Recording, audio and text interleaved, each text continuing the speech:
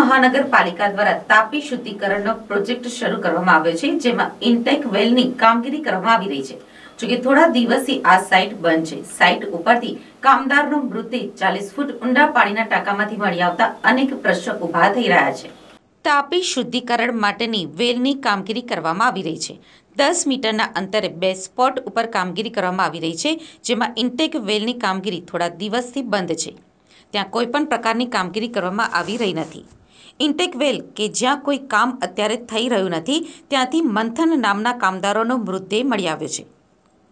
મોડી રાત્રે આ ઘટના બની હોવાનું જાણવા મળ્યું છે. મૃતદેહને પોસ્ટમોર્ટમ માટે લઈ જવામાં આવ્યો છે. ઘટના મોડી રાત્રે બની છે. તેનો છેલ્લો ફોન કોન્ટ્રાક્ટર સાથે વાતચીત કર્યો હોવાનું પણ જાણવા મળ્યું છે. તાપી શુદ્ધિકરણ પ્રોજેક્ટ ડ્રેનેજ ટાંકામાં મંથન મહેશભાઈ વોનિયા દાહોદનો વતની હોવાનું પણ જાણવા મળ્યું છે. માતા પિતાનો એકનો એક દીકરો હતો. રાત્રે દોઢ વાગ્યે કામની સાઈડ ઉપર પુત્ર ન દેખાતા શોધખોળ કરતા પુત્ર ટાંકામાં ચાલીસ ફૂટ ઊંડે દેખાયો હતો. ઇન્ટેક વેલ ઉપર બનાવેલા હોલ ઉપર ઢાંકણા ન હોવાને કારણે ટાંકામાં પટકાય હોવાની પણ શક્યતા છે. સુરત અમન પાના એક્ઝિક્યુટિવ એન્જિનિયર મૌલિક રાવે જણાવ્યું હતું કે તાપી શુદ્ધિકરણના પ્રોજેક્ટ અંતર્ગત ત્યાં કામગીરી કરવામાં આવી રહી છે. પરંતુ જે સ્થળ ઉપર આ ઘટના બની છે, તે સાઇટ ઉપર કામ હાલ બંધ છે. જે યુવકનું મોત થયું છે તે આ સાઇટ ઉપર કામ કરતો નથી. મોડી રાત્રે એ ત્યાં શા માટે આવ્યો છે તેની પણ અમને કોઈ જ જાણ નથી. અમને જાણ થતાં જ અમે તપાસ તો શરૂ કરી જ છે. મૃતદેહને પોસ્ટમોર્ટમ માટે લઈ જવામાં આવે છે, ત્યાં પણ કાયદેસરની કાર્યવાહી કરવામાં આવી રહી છે.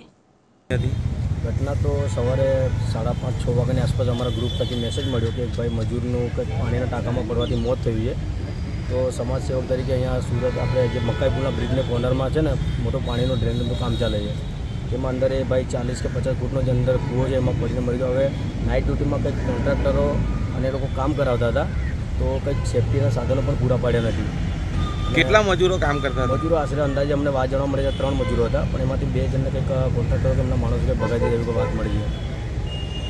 અને આ મરનાર કેવી રીતે નીચે પડી ગયો? મરનાર કંઈક ચંદ્રપ્રાષ્ટ્રનું કામ જ કરતા હતા નાઇટ ડ્યુટીમાં રાતના કંઈક દોઢ બે વાગ્યાનો બનાવ છે. એટલે આજુબાજુમાં તમે જોઈ શકો છો કે ત્યાં જ્યાં સ્થળ પર કે ચાર કે પાંચ ડ્રેનેજના કૂવા છે કાણા હોલ છે. તો હોલમાં કોઈ પણ પ્રકારની આ લોકો સેફ્ટી નથી પૂરી પડે. કે હોલને ઉપરથી કોઈ પણ પ્રકારનું પૂરણ પણ નહોતું કર્યું. એટલે ડાયરેક્ટ હોલ ખુલ્લા જ હતા. એટલે આ ભાઈ કામ કરતાં કરતાં નાઇટ ડ્યુટીમાં વગર સેફ્ટીથી અંદર પૂરે, પડી ગયો છે અંદર અને મરી ગયો.